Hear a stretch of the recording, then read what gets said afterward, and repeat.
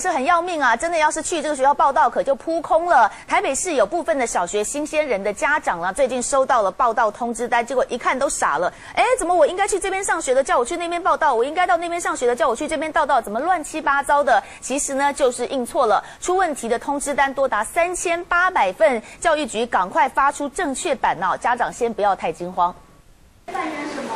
小学生新鲜人七月就要新生报道，不过台北市部分家长收到入学通知单却是一头雾水。像是这张报道栏写着永安国小，但往下看说明栏又说要到大家国小报道。小朋友究竟要去哪个学校上学呢？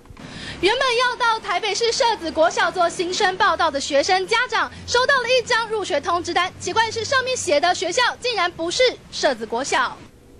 住在承德路的孙太太，宝贝儿子要和哥哥一样要读社子国小，不过通知单上面写的三育国小位在天母，距离社子国小直线距离将近三公里，还要跨越基隆河，该不会要小朋友翻山越岭上学吧？这让孙妈妈好心疼。我们就吓一跳，我们我们还信以为真要拿到三一国小去报道啊，还要早起差不多一个小时哎。为了争取时效，所以会用电子档。我们在交给厂商的时候，厂商在转档过程当中，他可能因为套印的需要。